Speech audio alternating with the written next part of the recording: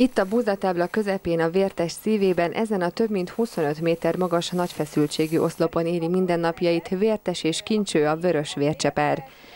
Az ő és két nemrég kibújt fiókájuk életét április óta webkamera segítségével követhetik nyomon az érdeklődők, számuk mára 520 főre duzzadt.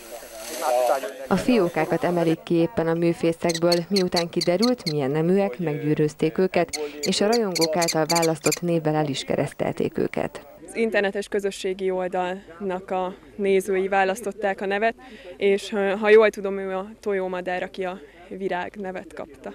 A hím vércse a vitéz nevet kapta. 28 nap múlva kirepülnek a fészekből.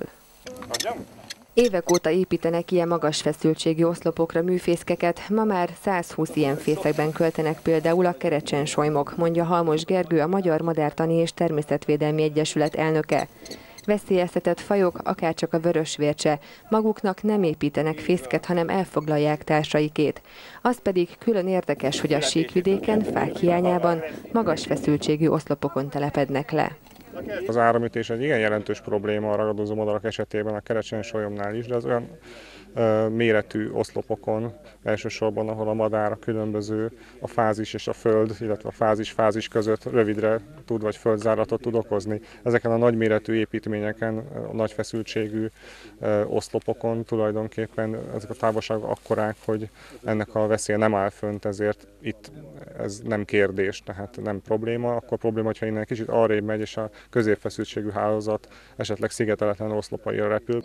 A műfészek nem csak állatbarát, barát, hanem praktikus is. A ragadozó madarak így a mezőkön szeretnek nagyon magasan fészkelni, és onnan nézni potenciális zsákmányokat, gondoltuk, megteremtjük nekik azt a komfortot, amit mi megteremtetünk.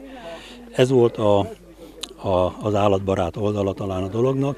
Van ennek egy praktikus oldala is, ami a saját szakmánkhoz kapcsolódik. Lényegesen kevés, kevesebb esetben állhat így elő olyan helyzet, ami üzemzavarhoz vezethet, azért a madarak itt a távolzati környékén könnyebben okoznak üzemzavart, így egy fix helyen, mi általunk meghatározott helyen vannak, és láthatóan jól is érzik magukat.